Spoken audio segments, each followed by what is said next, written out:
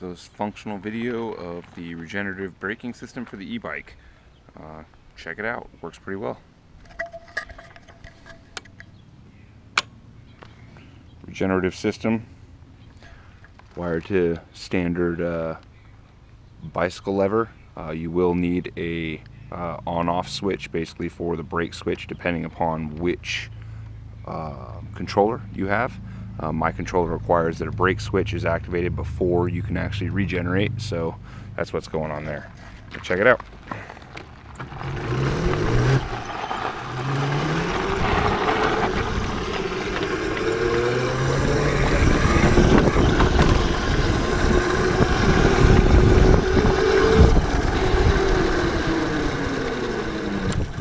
You can hear the deceleration.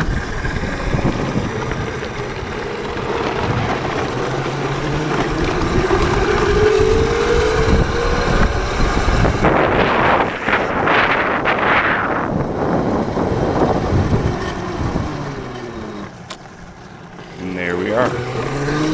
Full function.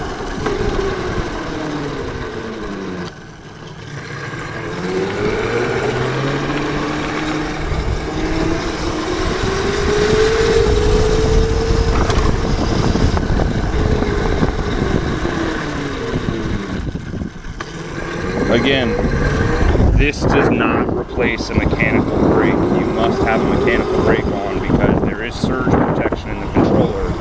So if you are uh, too much, uh, it will cut the current out of the regen to protect the battery. Uh, so you must have a mechanical brake on this